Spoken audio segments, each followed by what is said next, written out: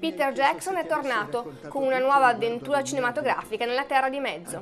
Ancora con grandi ambizioni spettacolari e toni epici, il regista neozelandese torna a dar vita sullo schermo ai racconti e ai personaggi tratti dalla fantasia di Tolkien. Questa volta il protagonista è Bilbo Baggins, vecchio zio di Frodo, che fu il primo a trovare l'anello del potere.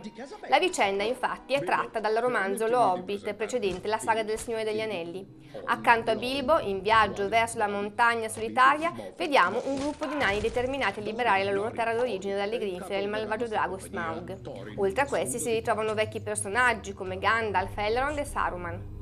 La nuova trilogia mette in luce aspetti certamente innovativi, un tono allegro, quasi da commedia, dovuto soprattutto al bravissimo interprete principale, l'inglese Martin Freeman. Oltre a questo vanno sottolineati i principali cambiamenti tecnici apportati al film, un uso massiccio e decisivo della computer graphics, una tridimensionalità ludica da cinema delle attrazioni e infine una velocità di immagine di 48 fotogrammi al secondo, che rende difficile capire la differenza tra attori in carne e ossa e personaggi digitali.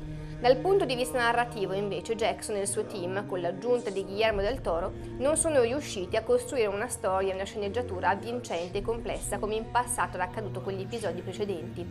Qui sembra tutto già visto e tirato per le lunghe. Probabilmente il progetto nato dal lavoro dello stesso del Toro e passato a Jackson in un secondo momento ha risentito del cambio in cabina di regia.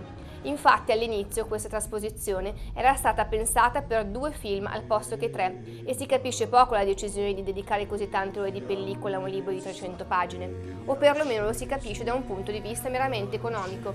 Gli spettatori probabilmente si divertiranno ancora al cinema davanti allo spettacolo messo in scena da Jackson, certo è che poco rimarrà di questo film nella loro memoria. 么样？